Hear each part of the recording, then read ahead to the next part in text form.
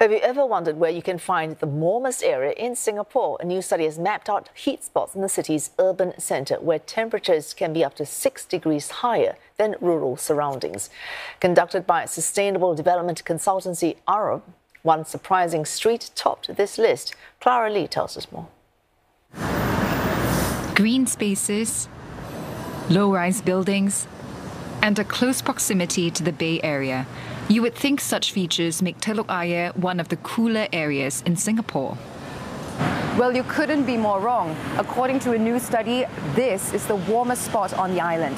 And that's because its once coastal roads are now surrounded by high-rise buildings, which block the cooling effect from the nearby coastline.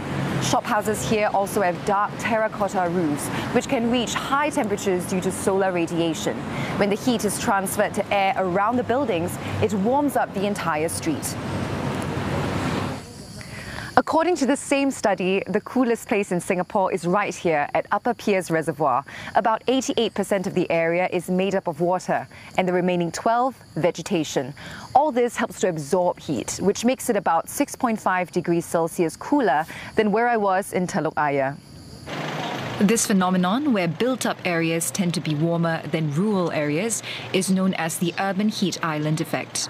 To counter this, analysts say design elements like increasing tree canopy cover or reflective roofs can cool buildings and reduce the reliance on air conditioning.